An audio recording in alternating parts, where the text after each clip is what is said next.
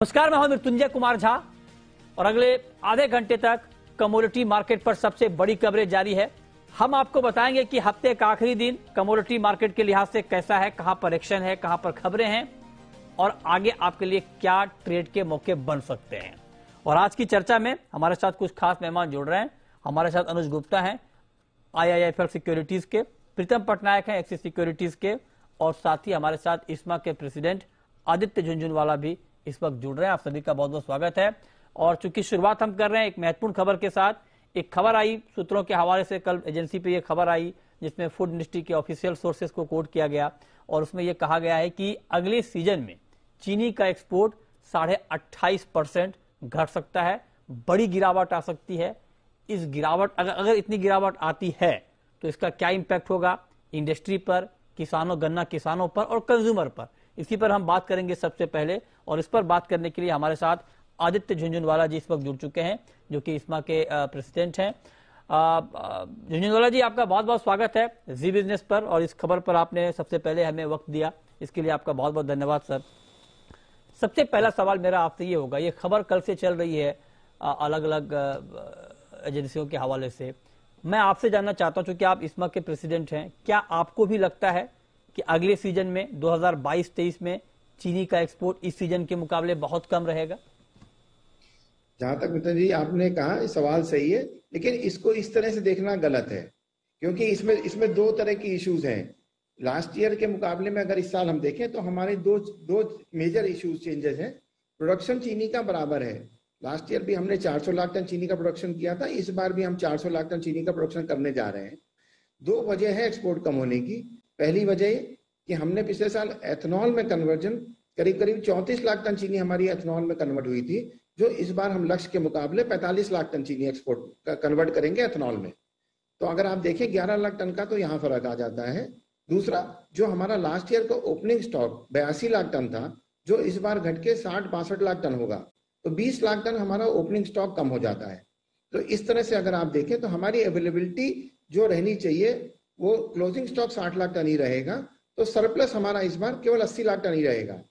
इसलिए हम लोगों ने सरकार से अस्सी लाख टन की मांग एक्सपोर्ट करने के लिए की है। अच्छा, तो आप ये कह रहे हैं कि आपका सरप्लस कम हो जाएगा एथेनॉल में डाइवर्जन ज़्यादा है लिहाजा आप कम एक्सपोर्ट कर पाएँगे राइट सर एकदम क्योंकि एथेनॉल में डाइवर्जन बढ़ने से और ओपनिंग स्टॉक कम होने से जो हमारे पास सरप्लस स्टॉक है हम्म। उसी के मुकाबले हम एक्सपोर्ट करेंगे।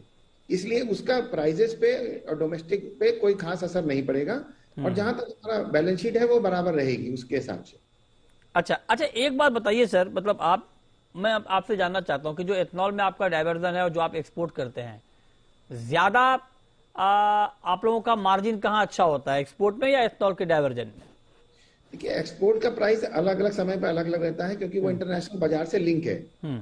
डिपेंडिंग अपॉन की मार्केट में कितनी रिक्वायरमेंट है और क्या इंटरनेशनल प्राइसेस है। अगर आप देखें तो लास्ट दो महीनों में इंटरनेशनल प्राइस गिरे हैं। इसी के लिए हमने बार बार सरकार से रिक्वेस्ट की है कि अगले साल की पॉलिसी का ऐलान जल्दी कर दें ताकि फैक्ट्रियों के लिए एग्रीमेंट करने के लिए और उचित लाभ मिल सके और हम लोग समय पे एग्रीमेंट कर सके। सर, पिछले पाँच साल के एक्सपोर्ट के ट्रेंड को हम देखें, जो इस वक्त हम दिखा भी रहे हैं स्क्रीन पे, लगातार एक्सपोर्ट बढ़ रहा है चीनी का। पिछले पाँच साल का डेटा हम दिखा रहे हैं। और ये पिछले पाँच छह साल में पहली बार ऐसा होगा जब 2022-23 में एक्सपोर्ट इस साल के मुकाबले कम होगा।